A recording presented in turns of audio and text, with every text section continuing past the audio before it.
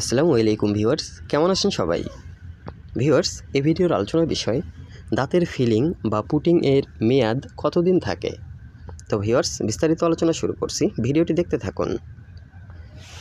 Viewers, আপনারা অনেকেই জানতে চেয়েছেন যে যদি কোনো দাঁতে ফিলিং বা পুটিং করানো হয়, তবে সেই ফিলিং বা পুটিংয়ের মেয়াদটা কতদিন থাকে?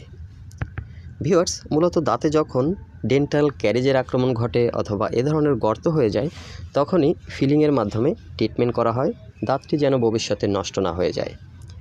তো দাঁতের ক্ষেত্রে সাধারণত দু ধরনের ফিলিং ব্যবহার করা হয়ে থাকে। একটি হলো সিলভার ফিলিং বা অ্যামালগাম ফিলিং এবং অন্যটি হলো কালার ম্যাচিং ফিলিং বা গ্লাস ইনোমার ফিলিং। এই দুই ধরনের ফিলিংই দাঁতে ব্যবহার হয়ে থাকে। আবার এই দুই ধরনের ফিলিংয়েরও কিন্তু ভিন্নতা রয়েছে, অনেক অনেক রকম ফিলিং রয়েছে।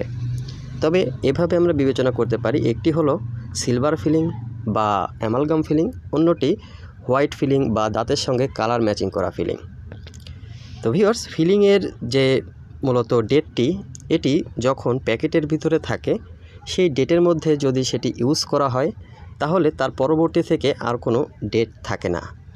অর্থাৎ যখন মেডিসিনটি মিশ্রণ হয়ে যাবে, মিশ্রণ করার পর থেকে আর কোনো ডেট থাকে না। যদি এমনটি হয় যে প্যাকেটে থাকাকালীন ফিলিংয়ের ডেটটি চলে গেছে, তাহলে সেই মেডিসিনটি নষ্ট হয়ে যাবে। কিন্তু যদি যদি যথাসময়ের মধ্যে ফিলিংয়ের মেয়াদ থাকাকালীন ফিলিংটি ব্যবহার করা হয় কোনো দাঁতে, তখন তার আর কোনো মেয়াদ থাকবে না। ধরুন মেডিসিন দিয়ে আপনার দাঁতে ফিলিং করা হয়েছে। এই ফিলিংটি আপনার আজ থেকে শুরু করে যতদিন থাকবে, ততদিন থাকবে, কোনো মেয়াদ নাই যে এত বছর পরে নষ্ট হয়ে যাবে, এমনটি কিন্তু নয়। তবে এ ধরনের ফিলিং করালে ফিলিংয়ের একটা ক্ষয় হতে পারে। যদি তেমনটি হয়, তাহলে আপনাকে পুনরায় আবারও ফিলিং করে নিতে হবে।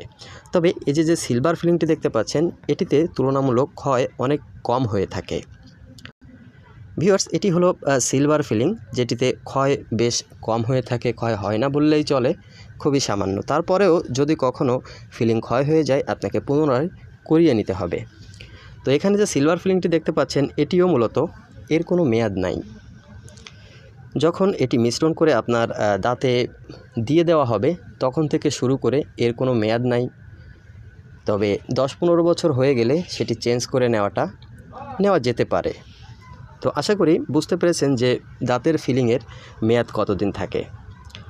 এর মধ্যে বলতে হয় যে, যদি কোনো দাঁতে ফিলিং করার পরে ফিলিংটি উঠে যায়, সেটি কিন্তু মেয়াদের মধ্যে থাকে না।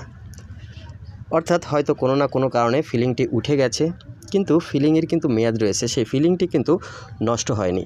যখনই আপনার ডেট থাকা অবস্থায় আপনার সেই ফিলিংটি মিশ্রণ করে দাঁতে দেওয়া হবে, তখন থেকে আর কোনো মেয়াদের চিন্তা চিন্তা করতে হবে না। তবে ফিলিং যদি কখনো ক্ষয় হয়ে যায়, সেক্ষেত্রে আপনাকে ফিলিংটি আবারও করিয়ে নিতে হবে। আশা করি বুঝতে পেরেছেন। ধন্যবাদ।